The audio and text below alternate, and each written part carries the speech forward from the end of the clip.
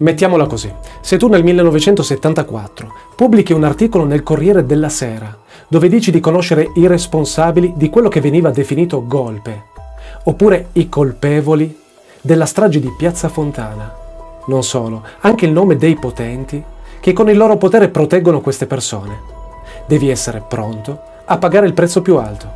E lui lo era.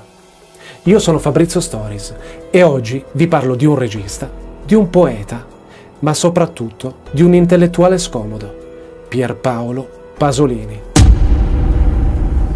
Nel suo celebre articolo Io so, pubblicato nel 1974 nel Corriere della Sera, Pasolini scriveva Io so i nomi dei responsabili di quello che viene chiamato golpe.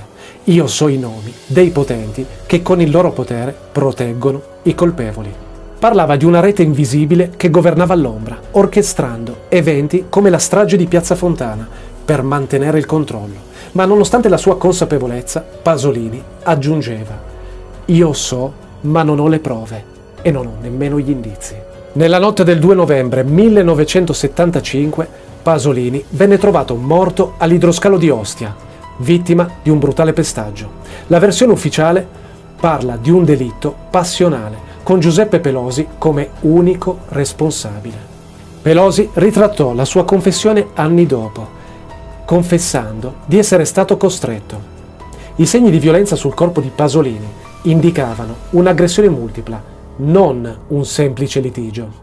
Si dice che Pasolini fosse nel mirino dei servizi segreti per le sue indagini legate alle connessioni tra politica e criminalità stava lavorando ad un nuovo romanzo intitolato Petrolio.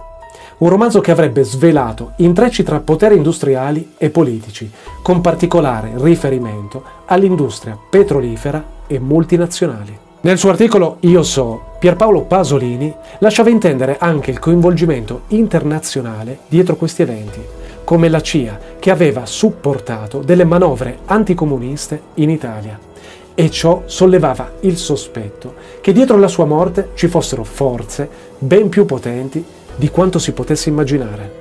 Dopo la sua morte, molti materiali che Pasolini stava raccogliendo per il suo romanzo Petrolio scomparvero misteriosamente.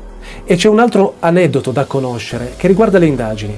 Avete presente il film Salò o le 120 giornate di Sodoma? Bene, prima della sua morte, Pasolini era in cerca di informazioni sulle bobine del film che erano state rubate. Si sospetta che l'incontro per riaverle potesse essere una trappola, un'esca per attirarlo all'idroscalo di Ostia. Le domande sulla morte di Pasolini restano ancora oggi senza risposta. Fu davvero solo un crimine passionale? Oppure ci sono state delle potenze che volevano far fuori un intellettuale troppo scomodo? Lascia la tua risposta nei commenti e segui Caffè Noir per tutte le storie che non ti hanno ancora raccontato.